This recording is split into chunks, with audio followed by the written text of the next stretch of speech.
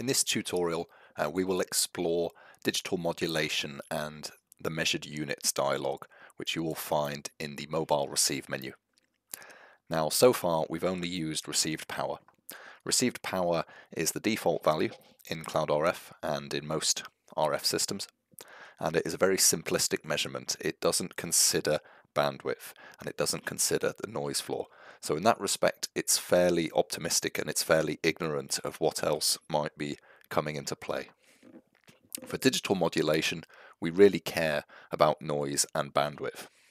And so for this demo I prepared three templates with three different profiles for an S-band radio at 2.2 gigahertz. The first profile uses narrow bandwidth of 1.4 megahertz. And at this bandwidth, it's set the noise floor down here as minus 112 based upon that channel's width. Now I've just created that calculation, I selected the template and then I click the green button and with signal to noise mode and a 3 dB threshold this is the coverage we can expect here. I've deliberately picked some flat fields by the river uh, to show the extent of the coverage. All I'm going to do now is change the profile which changes the bandwidth to 10 megahertz bandwidth. When I do this, the noise floor has now increased because channel noise has increased in line with the bandwidth. Our threshold has not changed. And now we have two layers, I can compare them. And I can see that straight away probably over half that coverage has been lost because of an increase in bandwidth. Let's go up again up to 20 megahertz bandwidth and repeat that. Noise floor has increased, threshold remains the same, coverage has reduced. So signal to noise ratio is much more sensitive to other parameters such as bandwidth, the threshold and the noise floor than received power. A more advanced form of this is bit error rate. Uh, bit error rate is more for engineers and this uh, describes the waveform's window of function. So a waveform will operate above an expected signal to noise ratio. So let's go and pick a waveform here and say this is TV broadcasting which uses 64 QAM.